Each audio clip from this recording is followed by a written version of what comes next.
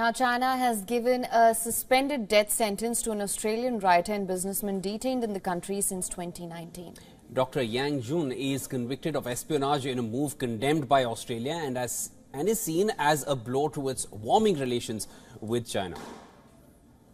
Today, February 5, 2024, the Beijing Number 2 Intermediate People's Court announced the sentencing in accordance within the law for the case of Australian defendant Yang Hengjun, who was accused of espionage. He was found guilty of espionage and sentenced to death within two years probation, and it was ordered that all his personal properties be confiscated.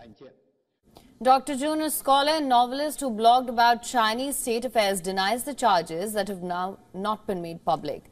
The Australian government says it is appalled by the outcome. Prime Minister Anthony Albanese has said that the Chinese court's decision is an outrage. Albanese has also vowed to continue to make efforts for his release.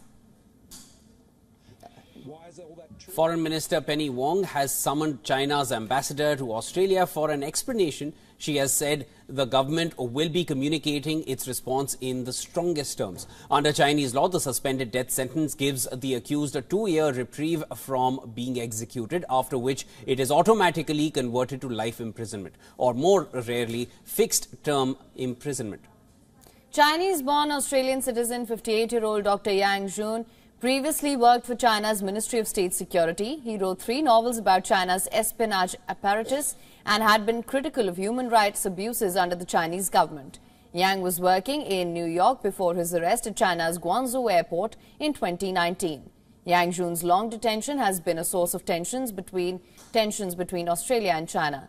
Ties between the two countries were improving under the Anthony Albanese-led Labor government in Australia.